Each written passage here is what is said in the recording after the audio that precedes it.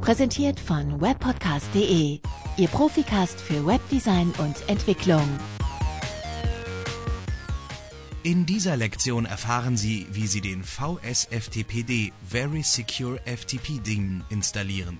Dieser FTP-Server erhebt den Anspruch, sehr sicher zu sein. Mit dem Befehl Aptitude beginnen Sie die Installation der VSFTPD-Pakete. Wie rasch das geht, hängt von Ihrem System ab.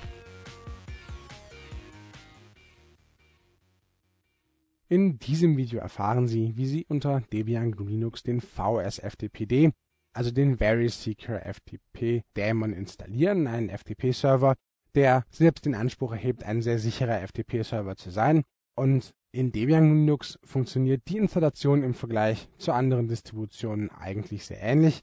Einziger Nachteil ist, dass Sie bei Debian Linux keinen voreingestellten Desktop haben. Das heißt, welches Programm zur Paketverwaltung Sie verwenden, ist in diesem Beispiel nicht vorhersehbar. Ich werde deswegen den Weg auf der Konsole, also die Installation des Programms auf der Konsole am Beispiel von KDE beschreiben.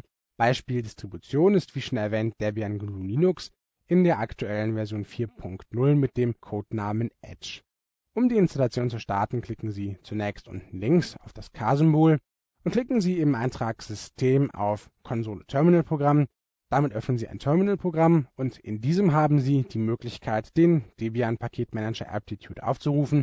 Das tun Sie am besten, indem Sie zunächst mit dem Befehl su die Rechte des Systemadministrators root erlangen drücken Sie Eingabe und geben Sie das Passwort des Systemadministrators ein. Sie sehen dann, dass sich der sogenannte Prompt an der Konsole verändert. Um sicherzustellen, dass Sie auch tatsächlich root sind, falls Sie nicht sicher sein sollten, können Sie auch den Befehl id eingeben und dann sehen Sie vorne uid gleich 0. uid gleich 0 bedeutet, Sie sind jetzt tatsächlich mit den Rechten des Systemadministrators unterwegs. Geben Sie danach den Befehl zur Installation des FTP-Servers ein. Dieser lautet aptitude install vsftpd.